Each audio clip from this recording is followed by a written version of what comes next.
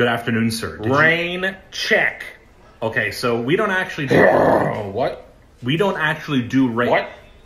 We don't do rain checks anymore, but I can order it to the store for you. Can you deliver it to my house? Of course, we can definitely get it delivered to you. I do not want it delivered to my house. Okay.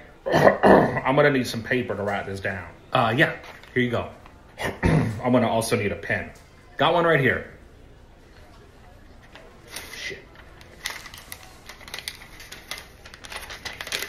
I don't want to write it down anymore.